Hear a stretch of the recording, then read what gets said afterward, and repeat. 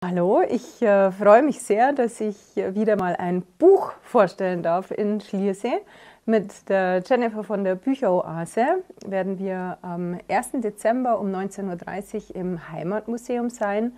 Und dort werde ich aus meinem neuen Buch nicht nur lesen, sondern ich habe auch viele Filme und ähm, ja, einige Töne mit im Gepäck aus der hohen Arktis.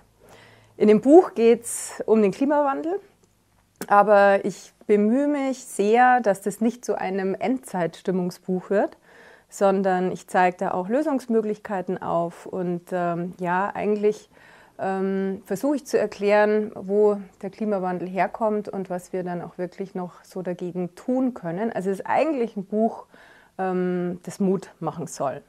Ich bin da in, seit langem ja schon in Spitzbergen unterwegs und sehe diese dramatischen Veränderungen, vor allem in den letzten paar Jahren, und habe mir da halt auch viele Wissenschaftler gesucht, die mir da diese Veränderungen auch sehr kompetent erklären.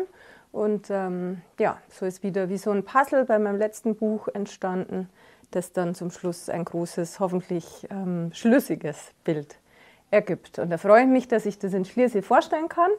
Und mit von der Partie aus also der Bücheroase ist diesmal ist auch der Alpenverein, wo ich jetzt auch Umweltbeauftragte bin.